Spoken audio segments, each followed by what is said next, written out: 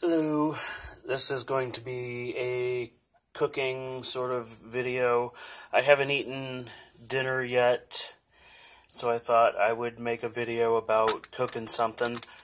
Um, I'm gonna have some rotini pasta, but mixed with the Campbell's Chunky New England clam chowder. So the water is heating up now, and I don't and I don't want this video to be too extremely long, so I will come back and uh, resume the video when the uh, water is actually full boiling. And it looks like the water is doing its thing. It's boiled, so now we'll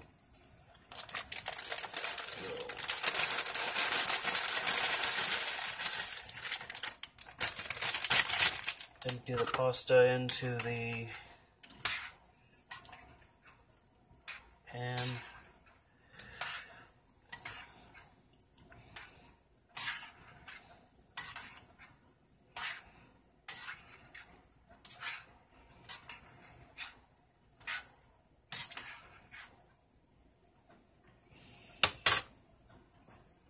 lower the to that so that it doesn't get too hot and make the pasta stick to the pan.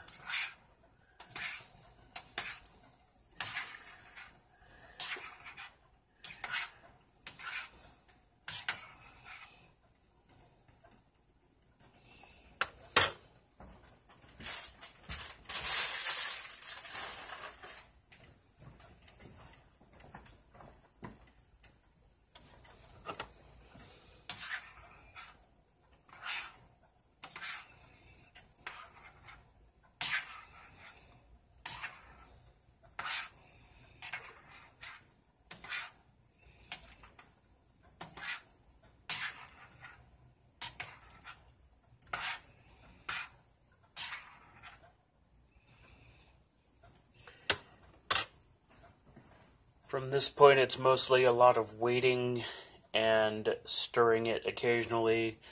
So I'm gonna pause again and come back when I'm closer to it being done.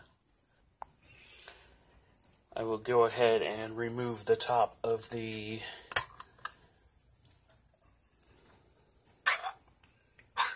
can of clam chowder.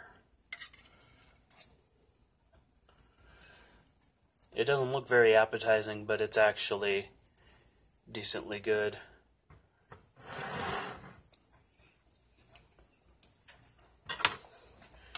It's still cooking and still going to be a few minutes.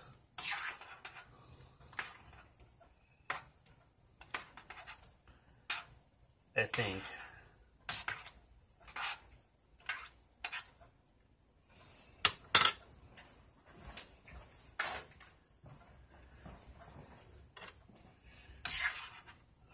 Some pastas take longer to cook than others for reasons including their various shapes. Some shapes don't absorb the water as quickly.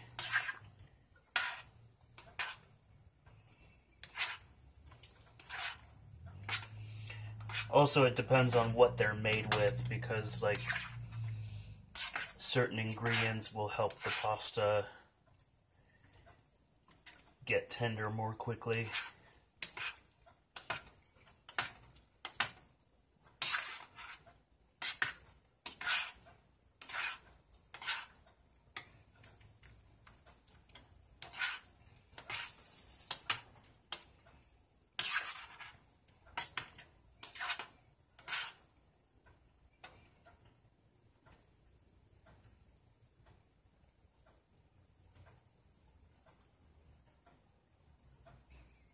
What is that one?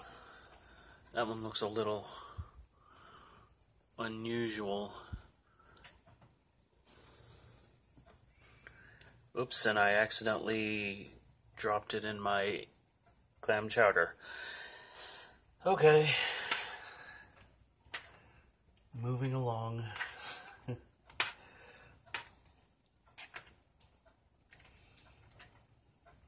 See how close to done it is.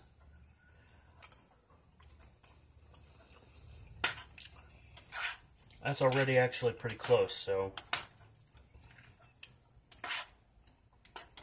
I will go ahead and reposition the camera to where I'm draining the water and we will be back in a second. And here we are over here at the sink. I will go ahead and drain the water. It's very simple to do.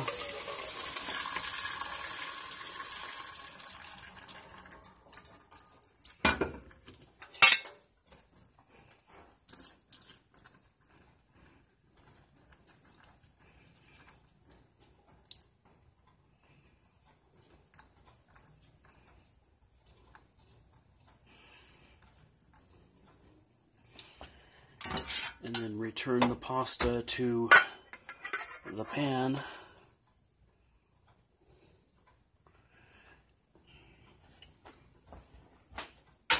Put that back over here. Rinse this out.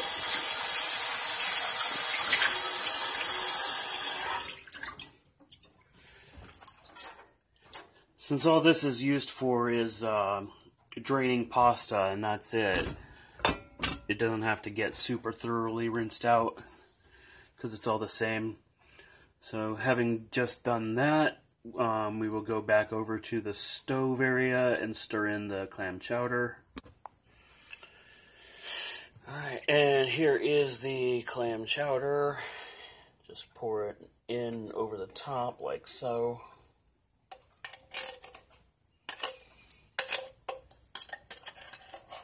Most soups and stuff, you don't have to like preheat it before you stir it in because it will uh, be heated by the pasta, the cooked pasta.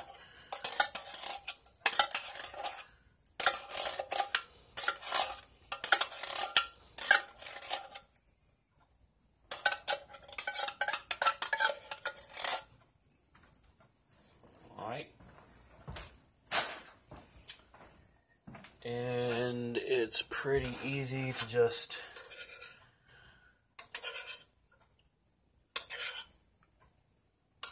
some pasta is easier to stir than others to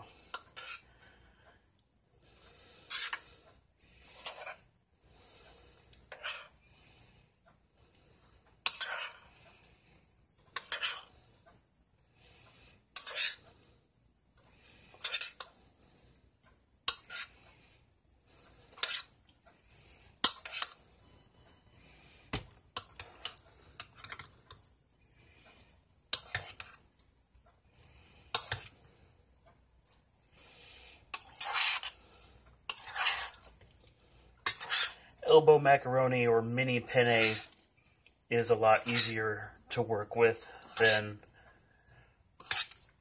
uh,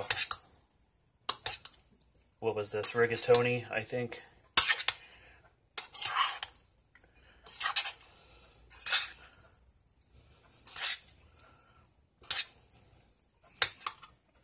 So yeah that's gonna be dinner and I'm gonna go ahead and eat in part two of uh, this video because eating this will probably take longer than uh, cooking it.